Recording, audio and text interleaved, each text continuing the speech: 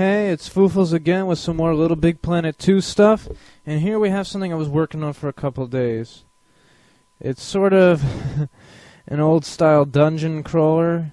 You see that we can turn around, move around. This is a dead end. Uh, you know, we can't go through walls, so. This is supposed to be a corner, so we're gonna go around this corner and see what's there, huh? Since this is a corner, if we turn right, we'll see a new hallway, and if we keep turning left, you see we are looking at the other side of the corner, and this is the old hallway. So let's go to our new hallway and see what's there. And oh my god! There's some kind of monster coming right at us. Look at that. Let me get up close so you can see him in the camera. Look at that thing. He's disgusting and terrifying. Let's do something about him, shall we?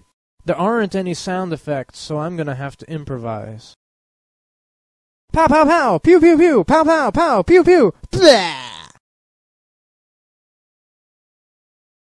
And for vanquishing this foul demon, we are rewarded with another dead end.